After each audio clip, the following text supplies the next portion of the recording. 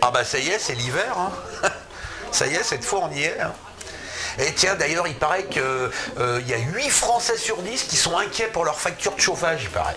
Bah, on les comprend. hein.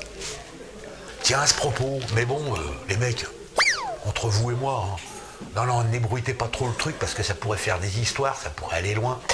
Le Pierrot, vous savez, le Pierrot qui vient tous les matins à 9h15 boire son petit blanc. Le Pierrot qui a un gros pif avec des grandes oreilles, là. Bon, bah, il paraît que chez lui, il chauffe 20 degrés dans tout l'appart. On dirait pas le Loire, hein Pété le mec. Comme quoi, il y en a qui ont le cul bordé de nouilles. Hein.